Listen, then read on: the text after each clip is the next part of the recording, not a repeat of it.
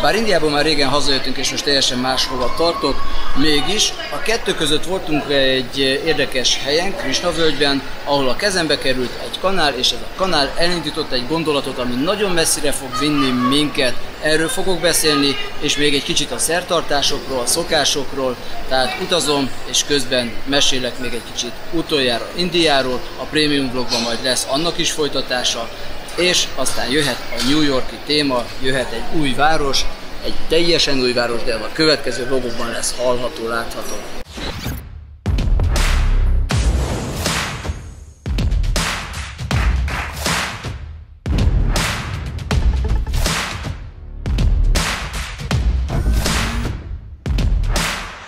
Ahogy azt már említettem India előtt, két szertartása voltunk hivatalosak, az egyik meg volt Indiában, ez egy, ez egy ilyen pudzsa volt, egy olyan szertartás, ami valamitől véd, vagy valamitől megmenekít. A másik szertartás az teljesen másról szól, ez egy házasságkötés, egy védikus esküvőre voltunk hivatalosak Krishna völgyben, és Krishna völgyben láttam valamit, ami nem tartozik ehhez a szertartáshoz, nem tartozik ehhez az esküvőhöz, hanem elindított bennem valamilyen gondolatot, és lehet, hogy ezt már el is mondtam a bevezetőben.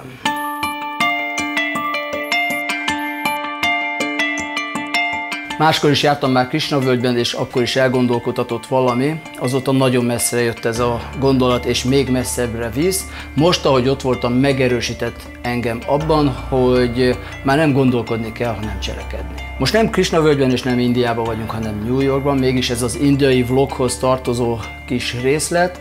New Yorkban a szállásunkon vagyunk, ahol vendégeskedünk Milena tesójánál, aztán megyünk ki a városba körbenézni, de tényleg annyi mindent láttam már, hogy még nem tudom, hogy mi az, amit felvegyek és mit csinálok, viszont befejezem az indiai vlogot itt. A lényeg az, hogy Krishna völgy az egy vallási központ, és attól függetlenül, hogy én nem vagyok vallásos, mégis sok mindent találtam ott, ami nekem érdekes és jó.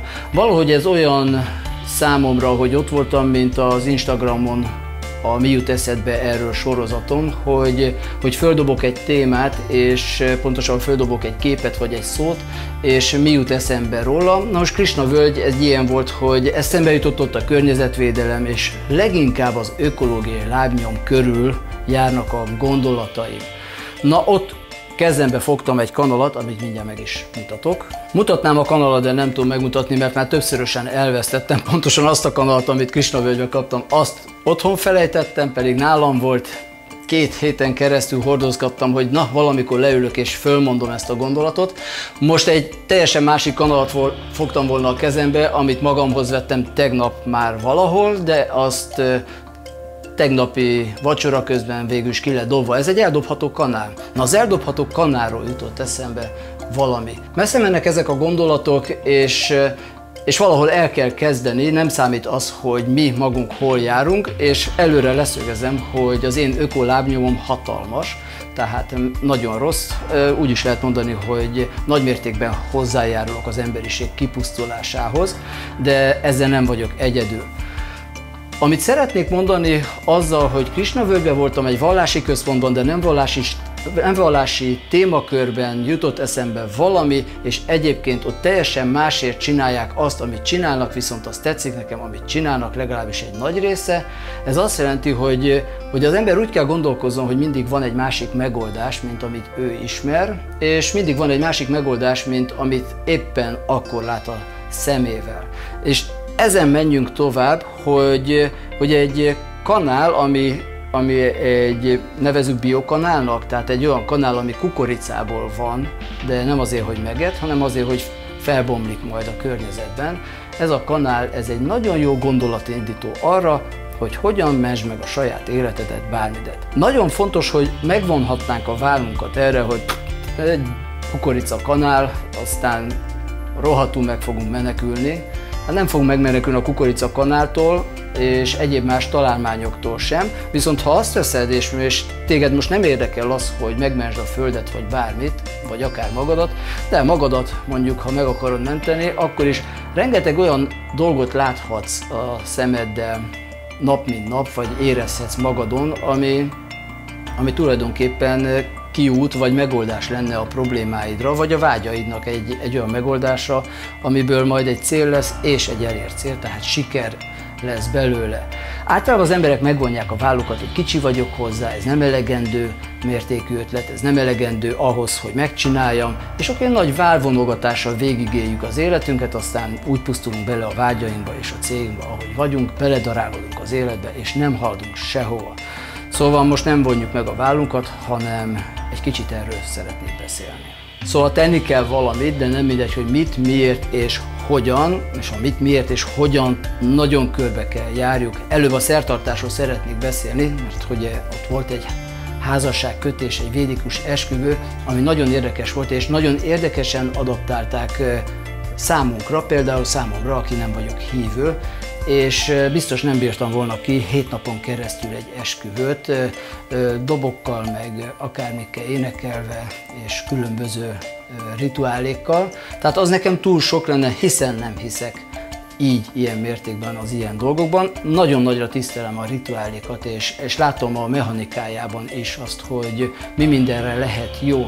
Szóval, szóval a szertartás nagyon érdekes volt, nagyon finomakat ettünk, lecsökkentették a szertartást egy, egy órára talán, vagy másfélre maximum, és, és kimondottan viccesen vezették föl a dolgokat, abszolút befogadható volt számunkra is, és bár, bárki számára is, és egyáltalán nem sértette mondjuk a hívőket, hanem nagyon szabad gondolkodásval és nagyon szabadon előadva és bemutatva ez az egész egy igazán kellemes esküvő volt.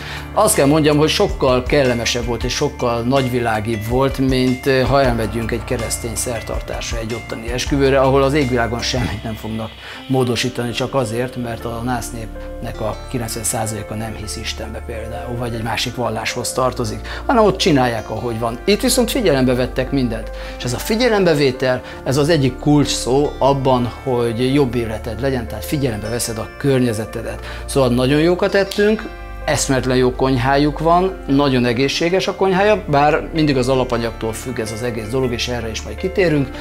És körbevezettek minket Krishna völgyben, ahol, ahol sok érdekes dolgot találtunk, és az a legfontosabb érdekesség, hogy önnel látóak, de nézzük Krishna völgyet.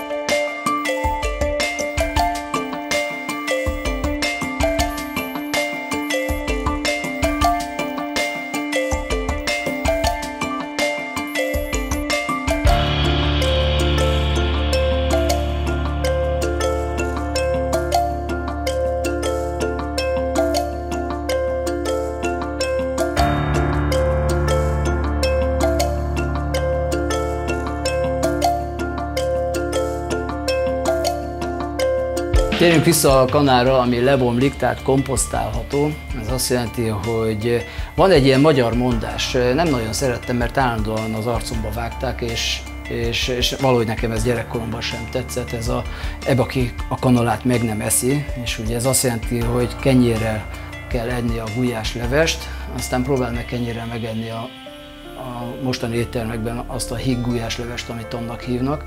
Na mindegy, a lényeg az, hogy itt a kanalat, van olyan kanál, amit megehetsz, és van olyan kanál, ami egyszerűen, ha kidobod, akkor az komposztálható, tehát vissza fog menni a természetbe, és újabb alapanyagként szolgálhat bárminek, tehát akár a növények számára is, tehát táplálja a környezetünket, és nem szennyezi ezt az egészet. Persze van már tányér, pohár, minden, ami csak létezik, és vannak hőállóak, nem hőállóak, de ez nem fogja megmenteni így a Földet, hogy csak ebben gondolkodunk, ennél sokkal komplexebb gondolkodás kell, ugyanis az is számít, hogy hogyan állítják elő ezt elvileg úgy állítják elő, hogy ez egészséges és jó a környezet számára, de állították ezt azért az alumíniumról, a vasról, az acélról, meg mindenről, ami csak körbevesz minket, sőt a műanyagról is.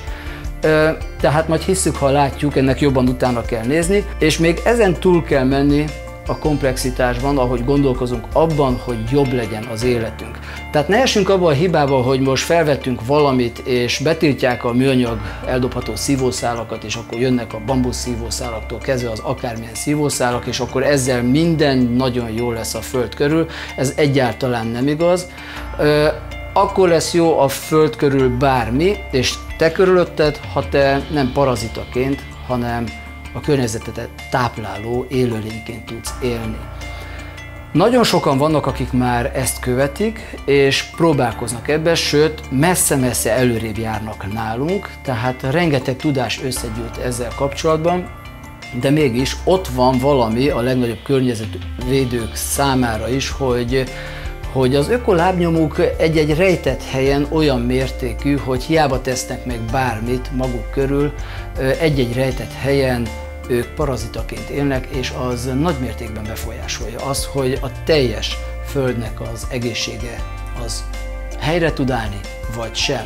Tehát a parazita életmód ellen is szólhat ez a videó, de az ember mellett is szólhat ez a videó, és én azt mondom, hogy az ember mellett szóljon, amellett az ember mellett, aki képes úgy élni, hogy a környezete szívesen befogadja, mert többet kap tőle, és nem vesz tőle el semmit. Az nagyon jó, hogy a szívószálat beszüntetjük, az nem jó, hogy nem gondolkozunk komplexen, és egy-egy cég, mint egyfajta marketing tevékenységként megfogja ezt az egész témát, és most minden öko, stb. emlékezzünk a biokajákra, hogy, hogy ki van írva bio, bio, bio. Most itt vagyunk Amerikában, itt minden organik. És bemész egy boltba, minden organik, természetesen kétszer-háromszor drágább, és egyébként bemész majd a másik helyre, ami nem organik, ugyanaz a két termékről van szó, és kész. Arról nem is beszélve, hogy vannak olyan gyártók, akik mondjuk GMO-s termékeket árulnak, és, és tök jó, hogy vannak gyártók, akik nem árulnak GMO-s terméket, de hogyha nagyon utána nézel ennek a gyártónak a tulajdonosának, meg ennek is, akkor a kettő ugyanaz, sőt, ha nagyon belenézel a pénztárcájukba, akkor a nem GMO-s terméket áruló cég, akinek a tulaja ugyanaz, mint a GMO-sé, az itteni bevételt, ami nem kicsi, hiszen most ez nagy divat, ezt a bevételt GMO kutatásokra költi, majd kihozza a GMO-s termékeket, és mit csinál? GMO-s termékek reklámjára költi ezt a bevételt. És a legnagyobb bevétel majd a GMO-ból van, neked meg annyi. Azt nem tudom, hogy jó a GMO vagy nem, de rosszul hangzik, az biztos. Tehát van egy tudatlanságunk, mind a bio és organik területen, mind a GMO és egyéb szennyezés területen. Igazság szerint senki sem tudja, hogy merre kell menni, senki sem tudja, hogy mit kell csinálni. Erre van megoldás persze, és sajnos megint azt kell mondjam, mint az iskolában mondták, hogy a szüleimnek szülőértekezleten, hát Sándornak tanulnia kéne, és akkor sokkal jobb eredményeket el tudna érni. Ez így van, az embernek tanulnia kellene, és jobb eredményeket el tudunk érni. Tehát nagyon körül kéne futkorásszuk ezt a témát, nem én, hanem mindenkinek, tudnia kéne azt, hogy mit kell csinálni. Az embereket meg kell tanítani arra, hogy hogyan kell élni, és elképzelhető az a megoldás, hogy úgy él az emberiség, hogy hogy az ökolábnyoma az pluszban van. Erre szeretnék a későbbiekben elindítani egy programot, aminek majd lesz neve, ezt majd később fogom publikálni, amikor jobban összeállt. Évek óta gondolkozom ezen, és már nagyon sok minden megvan. Elsősorban pénz hiányában még nem tudtam elindítani, de ahogy ez lenni szokott, az, hogy van pénzem rá, vagy nincs pénzem rá, nem fog megakadályozni abban, hogy megcsináljam, tehát pénz nélkül is el fog indulni, már látom magam előtt, hogy mikor és hogyan. Ez egy kicsit előszó ahhoz az egészhez, és egy, hagy fordítsam le egy picit ezt a témát arra, ami titeket igazából érdekel, mert mindenkit az érdekel, hogy hogyan gazdagodjon meg, hogyan legyen több pénze, hogyan legyen nagy szerelme, bőségben hogyan tartsa el a családját, stb. És gondolkodj el azon például, hogy akkor, amikor az életedet éled, és akár tárgyalsz valakivel, vagy beszélgetsz valakivel, akkor éppen megfigyeled-e azt, hogy ő mire gondol és mit szeretne. Mert ha megfigyelnéd és tudnád, hogy mi kell neki, és ellátnád őt ezekkel a dolgokkal, amennyire érdemes és lehetséges, akkor számodra ő elkezdene termelni. Tehát például egy üzleti tevékenységben, ha nem csak abban gondolkodunk, hogy elveszünk a másiktól, és nem érdekel minket, hogy neki mi marad, hanem abban is gondolkodunk, hogy tápláljuk a másikat, tehát transformáljuk, amit kaptunk tőle, és visszaadjuk, akkor ő szeretne veled élni, mint egyfajta szimbióta, hogy, hogy egymás nélkül már nem tudtok élni, és ha egymással vagytok, akkor egy teljesen más és jobb életet lehet élni. Ez igaz egy tárgyalásra, igaz egy üzletre, igaz a családra, igaz bármire. A problémák mindig ott lesznek, és azokat meg meg kell oldani, tehát ez egy folyamatos küzdés, de a megoldásban ott van az, hogy figyelünk másokra, és elérhetjük a céljainkat. Tehát meg kell tanulnotok, meg kell tanulnunk élni és élni hagyni, Nagyjából ennyit szerettem volna erről a témáról beszélni, és a Premium Vlogban egy kicsit másról lesz szó. Premium Vlogban a hétköznapi rituálékat látjátok még mindig. Ez lesz az indiai vlognak a befejező része, és kövessétek a videótárat, ahol a teljes indiai sorozat van, 5 prémium vlog és 5 vlog ebben a témában, illetve most New Yorkban vagyok, és New Yorkkal fogjuk folytatni, nem New Yorkhoz kötődő igazi témákkal, hanem azzal, ami itt eszembe jut. New Yorknak hagyom, hogy megihlessen, és úgy gondolom, hogy ez a város alkalmas arra, hogy ezt megtegye, tehát hogy sok gondolatot hozzon. Sokat várok ettől az utazástól személy szerint, ezeket nem szoktam mindig publikálni, de ha egy kicsit beavatok bárkit, akkor mondjuk azt várom, hogy az életem megforduljon, a gondolkodásom megforduljon valamelyik irányba, és már kezdem érezni azt, hogy hat rám ez a város egy ilyen irányba, tetszik is, meg nem is tetszik, de majd erről a további vlogban fogunk beszélgetni. Szóval nézzétek a videótárat, nézzétek az indiai vlogokat, és gondolkozzatok el azon, hogy paraziták akarunk lenni, vagy, vagy a környezetet támogató, segítő élőlények, és a kettő között nem létezik megoldás. Vagy ez vagy, vagy az. Én a környezetet szeretném támogatni, de nem olyan módon, hogy nem ismerem, hogy az hogyan kell, és ezzel nagyobb kárt okozva, hanem olyan módon, hogy hatékony legyen, értelmes dolog legyen. Szóval tanuljunk.